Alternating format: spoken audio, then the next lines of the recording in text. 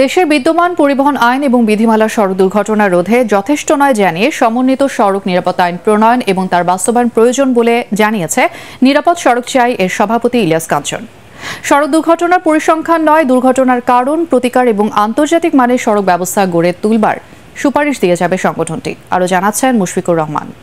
আমি এবং আমার সংগঠনের পক্ষ সড়ক দুর্ঘটনা রোধে জনমত সৃষ্টি দুর্ঘটনার কারণ নির্ণয় ও প্রতিকারে কাজ করে আসছে নিরাপদ সড়ক চাই। সম্প্রতি সড়ক দুর্ঘটনার তথ্য নিয়ে বিভ্রান্তি দেখা দেয়। এখন থেকে পরিসংখ্যান না দিয়ে দুর্ঘটনার কারণ প্রতিকার ও সচেতনতা সৃষ্টির ওপরে নিজেদের কার্যক্রম চালিয়ে যাবে তারা।